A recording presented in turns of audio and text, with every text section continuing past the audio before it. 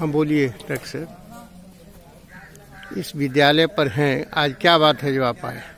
इस विद्यालय पर तो यही बात हुई कि सारा एसेट रहने के बावजूद इतना फंड यहाँ अवेलेबल है। बावजूद इसके जो है, हमारी बच्चियाँ जो है, वो टेन प्लस टू स्कूल हो जा चुकी है, लेकिन इसके बावजूद भी नीचे, दरी पर पेड़ के नीचे बैठ के पड़ती है तो पूरा जो है, जो सिस्टम जो है, चरमराया हुआ है और शिक्षण व्यवस्था में भी जो है, गिरावट आई है।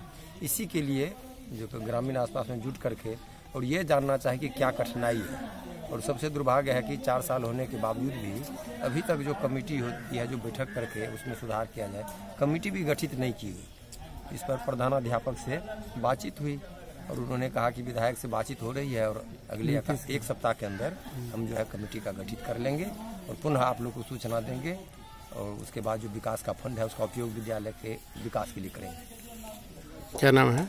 जय जय राम यादव। गाँव मंगलगढ़।